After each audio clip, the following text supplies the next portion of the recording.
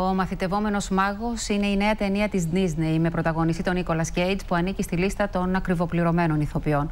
Ο Αλέξανδρος Ρωμανός Λιζάρδος τον συνάντησε στο Λος Άντζελες και μίλησαν για τον έρωτα, τη μαγεία και την Ελλάδα.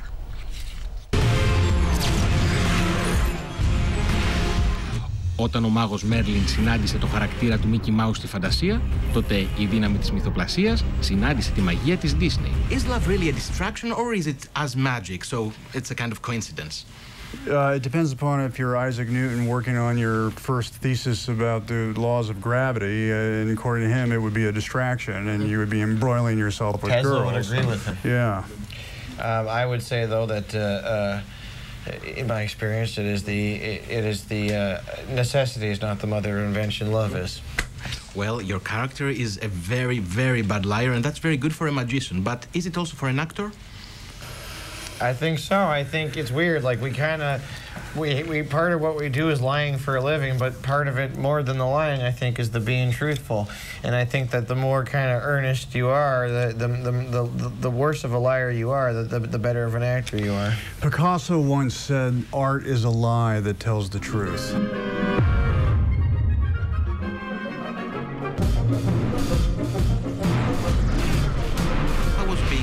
Shoes, and how was creating a character that it was the antipode of the character you played in Kick-Ass?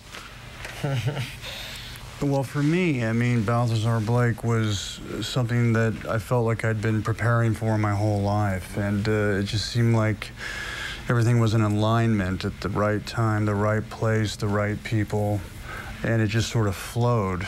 Um, it was sort of an homage to my father and my interest in, you know, Arthurian mythology, and so it all sort of gelled for me.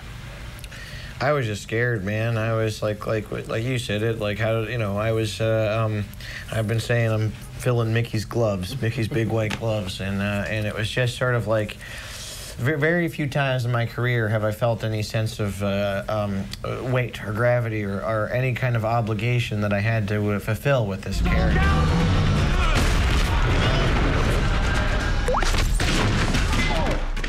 Are you familiar with the Greek mythology? Oh yeah, no, I loved Greek mythology. It was my, one of my first loves.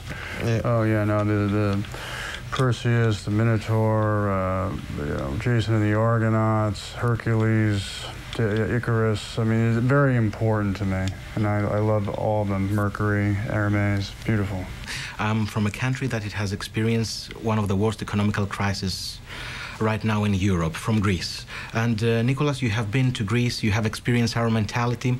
If you had the magical power to change it, what would you like to do? To change to change your country in some way. Change the economical crisis in general, but I just mentioned my country because I am from Greece and, I know it the hard way. Probably not the right guy to economical crises.